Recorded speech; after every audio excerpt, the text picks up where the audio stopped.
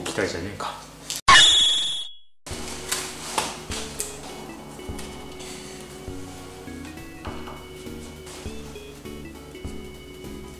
ここでちょっと色変わった色のラナンキュラスを入れていきます。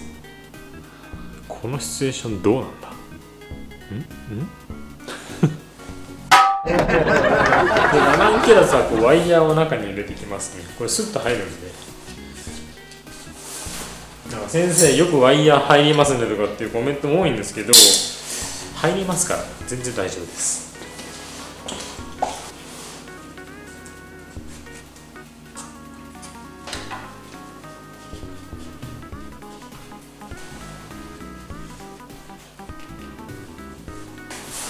はい。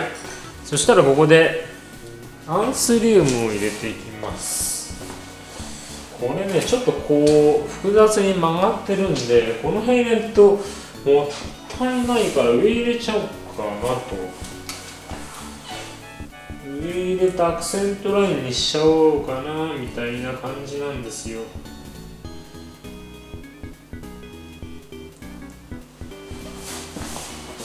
アクセントラインです。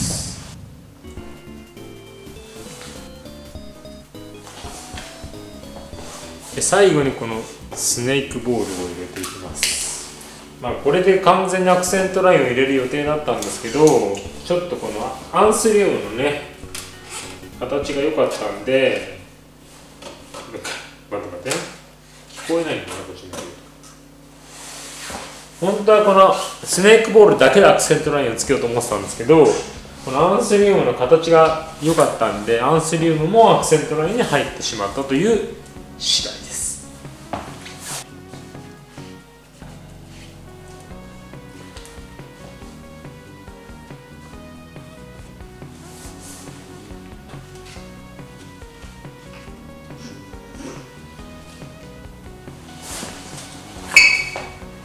さっきの入れ方だとここから上に上がってたじゃないですか。そうするとまあまあそれはそれでありなんですけどもともとの形を生かすアクセントラインではなくなっちゃうんです、えー、とだから、まあ、アウトラインをこう変化させちゃうような感じになっちゃうんでまあそれでもいいんですけど今回はちょっとこういうアクセントラインにしてみました、えーでは正面から見てみましょう。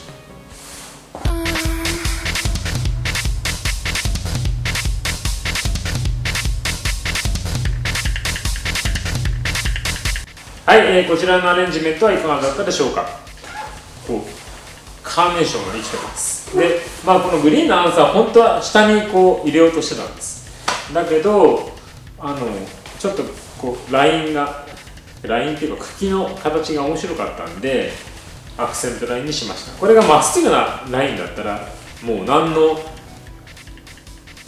考え何の 考えて何の迷いもなく下に入れてたと思います、えーだけどまあこうラインがねやっぱり決め手なんですよこういうのは。でスネークボールで下のアクセントラインを入れてみました、えーではですねまた次回素敵なアレンジメントを皆さんに紹介していきたいと思います。ああ花束かもしれません。あまた僕のたわごとかもしれません。わかりません。ではまた次回お会いしましょう。See you next time! フラワー TV では皆さんのチャンネル登録を募集しております。チャンネル登録はこちら。こちらをクリックしてください。えスマートフォンタブレットの方はこちらが見えてないと思いますので下のリンクよりチャンネル登録お願いします。えーとチャンネル登録の数がチャチャンネル登録者の数が増えていくとどんどんできることも増えていくんでぜひ一人でも多くのチャンネル登録をお待ちしております。ではお願いします。